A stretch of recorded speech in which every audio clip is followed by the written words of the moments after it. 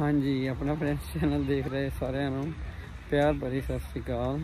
ਮੈਂ ਅੱਜ ਸੋਚਿਆ ਕਿ ਇੰਨਾ ਸੋਹਣਾ ਮੌਸਮ ਬਣਿਆ ਹੋਇਆ, ਬਾਹਰ ਆਇਆ ਹੋਇਆ, ਤੇ ਕਿਉਂ ਨਾ ਕ੍ਰਿਕਟ ਦੀ ਗੱਲ ਹੋ ਜੇ ਕਿਉਂਕਿ ਕੱਲ ਕ੍ਰਿਕਟ ਹੋ ਰਿਹਾ ਹੈ ਇੰਡੀਆ ਵਰਸਸ ਆਸਟ੍ਰੇਲੀਆ ਲੇਡੀਜ਼ ਦਾ, ਤੇ ਉਹਦੇ ਵਿੱਚ ਦੇਖਣਾ ਹੈ ਜਾ ਕੇ ਲਾਈਵ ਕੌਣ ਜਿੱਤੇਗਾ।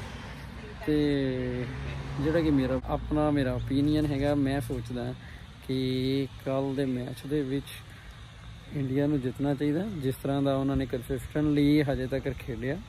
ਤੇ ਇਸੇ ਕਰਕੇ ਉਹ ਫਾਈਨਲ 'ਚ ਡਾਇਰੈਕਟਲੀ ਆਏ ਨੇ।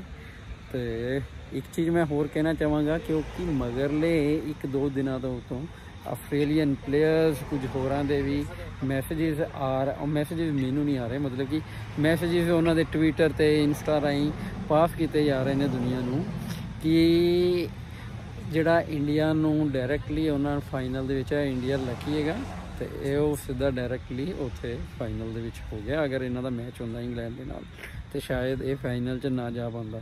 ਮਗਰ ਇਹ ਉਹਨਾਂ ਨੂੰ ਸੋਚਣਾ ਚਾਹੀਦਾ ਹੈ ਕਿ ਇਹ ਵੀ ਇੱਕ ਟੀਮ ਹੈਗੀ ਹੈ ਜਿਹੜੀ ਕਿ ਇੱਕ ਵਾਰੀ ਵੀ ਨਹੀਂ ਹਾਰੀ, ਪੂਰੇ ਜਿੰਨੇ ਵੀ ਉਹਨਾਂ ਦੇ ਚਾਰ ਹੀ ਮੈਚ ਹੋਏ ਨੇ, ਮਗਰ ਚਾਰਾਂ ਦੇ ਵਿੱਚ ਉਹ ਇੱਕ ਵਾਰੀ ਵੀ ਨਹੀਂ ਹਾਰੀ। ਤੇ ਇਸ ਰੀਜ਼ਨ ਕਰਕੇ ਉਹਨਾਂ ਨੂੰ ਫਾਈਨਲ ਦਿੱਤਾ ਗਿਆ ਤੇ ਉਹਨਾਂ ਨੇ ਇਹ ਕਿਹਾ ਨਹੀਂ ਸੀ ਕਿ ਮੀਂਹ ਪੈ ਜਾਵੇ ਤੇ ਉਹਦੇ ਕਰਕੇ ਉਹਨਾਂ ਨੂੰ ਫਾਈਨਲ ਜਗ੍ਹਾ ਮਿਲ ਜਾਵੇ। ਉਹ ਮੈਚ ਖੇਡਣ ਗਏ ਸੀ, ਮੀਂਹ ਪੈ ਗਿਆ, ਕੋਈ ਕਾਰਨ ਬਣਿਆ ਤੇ ਫਿਰ ਉਹਨਾਂ ਨੇ ਉਹਨਾਂ ਦੀ ਸਕੋਰ ਦੇਖੀ। ਸਕੋਰ ਦੇਖਣ ਤੋਂ ਬਾਅਦ ਹੀ ਜਾਂ ਵੀ ਜੋ ਵੀ ਉਹਨਾਂ ਦੇ ਕ੍ਰਾਈਟੇਰੀਆ ਸੀ, ਉਹ ਰੂਲ ਪਹਿਲੇ ਹੀ ਸੈੱਟ ਹੋ ਚੁੱਕੇ ਸਨ ਤੇ ਉਹਦੇ ਕਰਕੇ ਉਹ ਫਾਈਨਲ ਦੇ ਵਿੱਚ ਪਹੁੰਚੇ ਨੇ। ਉਹ ਇਦਾਂ ਨਹੀਂ ਹੋਇਆ ਉਹਨਾਂ ਨਾਲ। ਕਿ ਉਹ ਡਾਇਰੈਕਟਲੀ ਉਹਨਾਂ ਨੇ ਕੋਈ ਮੀ ਆਪਣੇ ਕੋਲੋਂ ਹੀ ਬਣਾ ਦਿੱਤਾ ਤੇ ਬਸ ਉਹ ਡਾਇਰੈਕਟਲੀ ਉੱਥੇ ਪਹੁੰਚ ਗਏ ਨੇ। ਤੇ ਇਹ ਮੈਂ ਸਿਰਫ ਉਹਨਾਂ ਨੂੰ ਕਹਿਣਾ ਚਾਹੁੰਦਾ ਕਿ ਇਦਾਂ ਦੀ ਕੋਈ ਗੱਲ ਨਹੀਂ ਹੈਗੀ ਕਿ ਜਿਹੜੀ ਕਿ ਉਹਨਾਂ ਨੇ ਇੰਟੈਂਸ਼ਨਲੀ ਕੁਝ ਕੀਤਾ ਹੋਵੇ। ਬਾਕੀ ਇਹ ਜੋ ਹੈਗਾ ਉਹਦੇ ਵਿੱਚ ਦੋਵੇਂ ਟੀਮਾਂ ਬਰਾਬਰ ਦੀਆਂ, ਜੇ ਉਹਨਾਂ ਦੀ ਸਕੋਰ ਬੈਟਰ ਹੁੰਦੀ ਫਿਰ ਉਹ ਫਾਈਨਲ 'ਚ ਜਾਂਦੇ। ਹੁਣ ਇਹਨਾਂ ਦਾ ਸੀਗਾ ਸਕੋਰ ਵਾਈਜ਼ ਬੈਟਰ ਤੇ ਇਹ ਸਿੱਧੇ ਡਾਇਰੈਕਟਲੀ ਫਾਈਨਲ 'ਚ ਗਏ ਨੇ। ਤੇ ਉਹ ਵੀ ਜੇਕਰ ਦੇਖਿਆ ਜਾਵੇ ਤੇ ਇੰਡੀਆ ਅਨਡਿਫੀਟਿਡ ਰਹੀ ਹੈ ਇਹਦੇ ਵਿੱਚ। ਤੇ ਇਸ ਕਰਕੇ ਉਹ ਡਿਜ਼ਰਵ ਵੀ ਕਰਦੀ ਸੀ ਫਾਈਨਲ ਦੇ ਵਿੱਚ।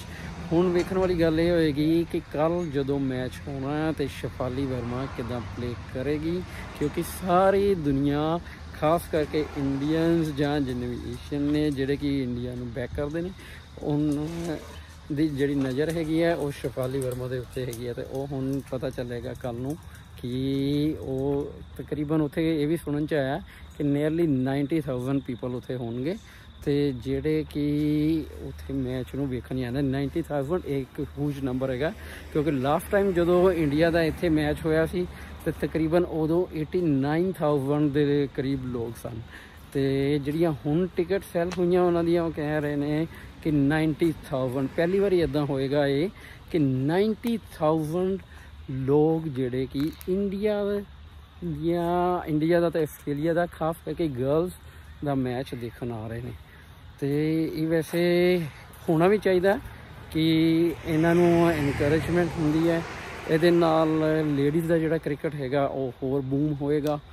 ਥੋੜਾ ਜਿਹਾ ਇਹ ਕਹਿ ਲਓ ਵੀ ਸਾਰੇ ਬੋਰਡਸ ਇਸ ਨੂੰ ਜਰਾ ਹੋਰ ਥੋੜਾ ਸੀਰੀਅਸਲੀ ਲੈਣਗੇ ਕਿ ਇੰਨੀ ਦੁਨੀਆ ਦੇ ਵਿੱਚ ਹੁਣ ਥੋੜਾ ਜਿਹਾ ਇਹਨਾਂ ਦਾ ਹੋਰ ਵੀ ਜ਼ਿਆਦਾ ਨਾਮ ਬਣ ਰਿਹਾ ਲੋਕਾਂ ਨੂੰ ਖਿੱਚ ਹੋ ਰਹੀ ਹੈ।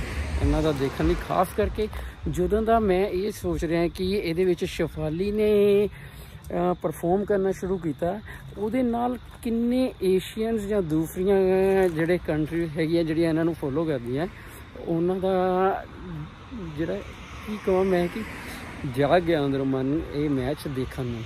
ਕਿ ਇਹ ਕ੍ਰਿਕਟ ਮੈਚ ਅਸੀਂ ਦੇਖਣਾ ਨਹੀਂ, ਤੇ ਇਸ ਤੋਂ ਪਹਿਲੇ ਕੁੜੀਆਂ ਦਾ ਮੈਚ ਦੇਖਣ ਲਈ ਹਾਂ, ਜੇ ਸਾਹਮਣੇ ਲੱਗਾ ਹੁੰਦਾ ਸੀ, ਤੇ ਲੋਕੀ ਦੇਖ ਲੈਂਦੇ ਸਨ। ਅਗਰ ਸਾਹਮਣੇ ਨਹੀਂ ਹੁੰਦਾ ਸੀ, ਤਾਂ ਫਿਰ ਉਹ ਨਹੀਂ ਸੀ ਦੇਖਦੇ। ਮਗਰ ਹੁਣ ਲੋਕਾਂ ਨੂੰ ਸਪੈਸ਼ਲ ਟਾਈਮ ਕੱਢ ਰਹੇ ਨੇ, ਆਪਣਾ ਟਾਈਮ ਬਣਾ ਰਹੇ ਨੇ ਕਿ ਅਸੀਂ ਦੇਖਣਾ ਟਿਕਟ ਬਾਏ ਕਰ ਰਹੇ ਨੇ, ਉੱਥੇ ਜਾ ਰਹੇ ਨੇ। ਸੋ ਇਹਦੇ ਨਾਲ ਹੀ ਮੈਂ ਇੱਥੇ ਫਿਨਿਸ਼ ਕਰਦਾ, ਜ਼ਿਆਦਾ ਨਹੀਂ ਬੋਲਦਾ ਆ। ਕੱਲ ਉੱਥੇ ਮੈਚ ਦੇ ਵਿੱਚ ਹੀ ਤੁਹਾਡੇ ਨਾਲ ਗੱਲਬਾਤ ਕਰਾਂਗੇ ਤੇ ਤੁਹਾਨੂੰ ਉੱਥੋਂ ਹੀ ਮੇਰੇ ਨਾਲ ਵੀ ਹੋਣਗੇ ਹੋਰ ਜਾਨੇ ਤੇ ਤੁਹਾਨੂੰ ਉੱਥੋਂ ਹੀ ਮੈਚ ਦੇ ਨਾਲ ਸਾਹਮਣੇ ਲਾਈਵ ਰੂਬਰੂ ਕਰਾਵਾਂਗੇ।